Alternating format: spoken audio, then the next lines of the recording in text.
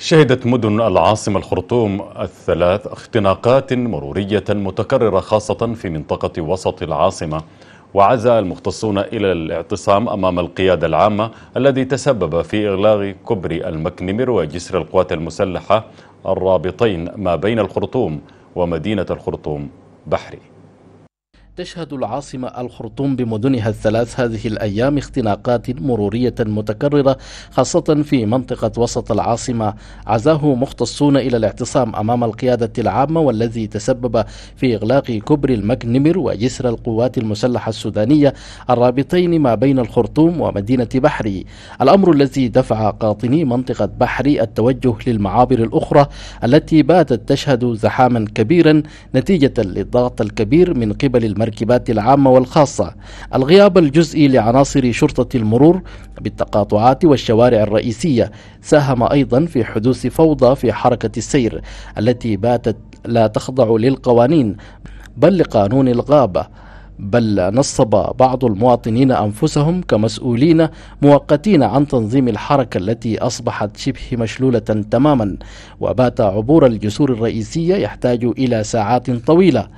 الازدحام المروري بات سمة مميزة لوسط الخرطوم حتى قبل الاعتصام.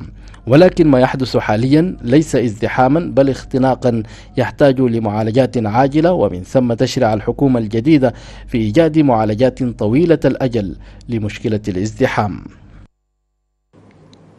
استطلعت كاميرا السودان اليوم عددا من المواطنين والصحفيين وسائقي المركبات العامة والخاصة عن أسباب تصاعد ظاهرة الاختناقات المرورية في شوارع العاصمة الخرطوم.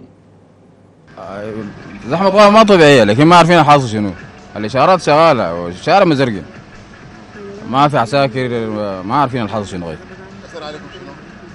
الحياة كلها واقفة حسي ما قادرين نمشي محلنا الماشيين ذات أصلا. واقفين منتظرين منتظرين شنو؟ ما عارفين مستنيين الفرج.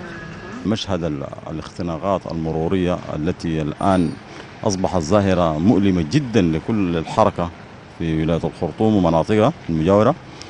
يمكن جزء كبير من هذه الأزمة نحن نعزيه لأولا البنيات التحتية الأساسية للطرق. أنا أفتكر أنه الطرق الآن هي أساسا تفتقد لكثير من المقومات سواء كان على مستوى رصف الطرق الإشارات المرورية التعدي على الحرمات الشوارع والكباري دي كلها أدت إلى بروز حالة من الاختناقات بشكل كبير جدا وبل ظلت هذه الحالة تتصاعد يوم بعد يوم. يعني في فوضى في فوضى هارمة في البلد. يعني الشوارع الرئيسية كلها مقفلة. يعني بدون أي سبب. يعني شارع البلدية مقفول. كوبري كوبري النيل الأبيض مقفول. يعني الشوارع شارع الجمهورية مقفول. هسه دي زحمه هسه إحنا ساعتين واقفين؟ ولسه وما معروف الحاصل شنو. ليه الشوارع دي مقفلة؟ دي فوضى من الحكومة. يعني المفروض تتخذ إجراءات ضد الناس المقفلين الشوارع والحواجز.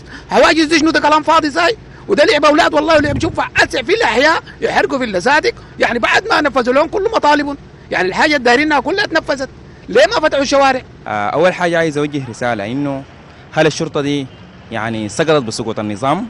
في ظل الفوضى اللي بتحصل هسه حاليا يعني غياب تام للشرطه شرطة المرور.